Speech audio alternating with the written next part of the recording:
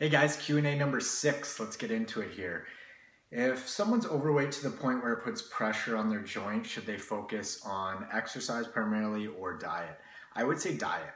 Um, the, the diet stuff doesn't change. You should be you should dial in your nutrition no matter what. Um, if weight loss is your goal, I mean, especially the, the diet's super important. Not to say that movement isn't, but especially considering that moving um, is hurting your joints, you you really just aren't in a position where you can exercise without pain to lose weight, and nor is that maintainable because you'd have to do just uh, an inordinate amount of exercise just to lose that weight, and you'd also have to maintain it in order to keep it off. So the diet piece is going to be the bigger um, kind of the bigger fish to fry in that situation. And in every weight loss scenario, unless you're, you know, the exception is like a, a prime level athlete where they can just kind of eat whatever they want and uh, they're moving so much that it really doesn't matter. Um, we see a lot of those people, those athletes, once they quit doing whatever sport they're doing, that they just pile on the weight because their eating habits don't change, but their movement um, has declined in a big way. So uh, yeah, focus on the diet. Uh, oh, actually, and I wanted to say also get walking in because it's just super low impact. Or you could do some stuff in the pool as well. That's uh, that's super easy on the joints.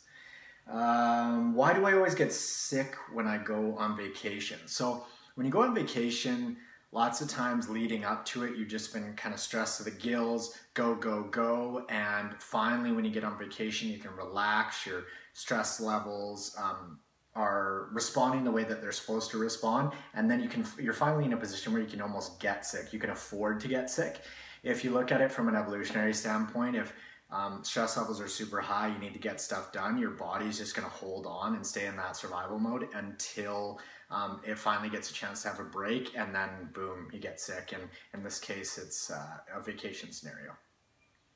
Why am i hungrier when i'm tired? So when we're sleep deprived or tired, our hormone levels like ghrelin go up, which is like a, a hunger hormone. So um, it just kind of makes sense also, touching back on that last question from an evolutionary standpoint, if we haven't got our proper rest, the body is looking for any source of energy that it can find to get daily tasks done.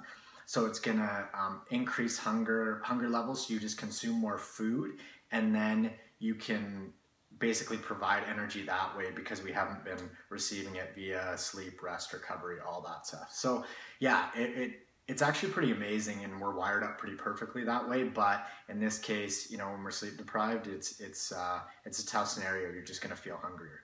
So that's it for now. Uh, three quick questions. If you have any questions for future Q and A's, hit me up. And I uh, hope you learned something here. Thanks, guys. See ya.